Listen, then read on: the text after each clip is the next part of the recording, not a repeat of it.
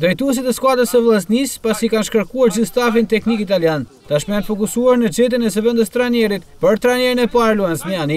Në fakt pista e parë e menduar ishte që pas shkarkimit të trajnerit Baldo Raneri, të largohej edhe trajneri i portierave, ndërkohë që përgatitësi atletik të qëndronte për vetë profesionalizmin që kishte treguar. Por kjo nuk ndodhi dhe tashmë situata tek drejtuesit nuk është aspak e qetë. Pas dorëheqjes së trajnerit Samuel Nikaj, mësohet se janë hapur shumë diskutime se kush do të jetë ndihmësi i Zmijanit. Kjo për shkak se ishte menduar që Nikaj e Zmijani të ishin pjesë e ekipit deri në përfundim të këtij sezoni. Nga burimet e sigurta brenda skuadrës mësohet se shumë trajnerë apo ish-lojtarë të Vllaznisë janë duke u diskutuar si mundësi për t'u vendosur në pankinën kuqeblu, por deri tani nuk ka asnjë emër konkret të miratuar. Në fakt u tha se shumë shpejt do të vendosej ndihmës trajneri dhe përgatitësi atletik, por në pranim duket se nuk është aq e lehtë. Gjithsesi, situata në kampin shkodran deri tani nuk duket shumë e qetë pasi dorëheqja e Nikajt trazoi shumë ujëra. Me interes pritet se kush tashmë do të jetë zëvendës trajneri i Vllaznisë për të plotësuar stafin teknik që do të drejtojë ekipin deri në fund të sezonit futbollistik.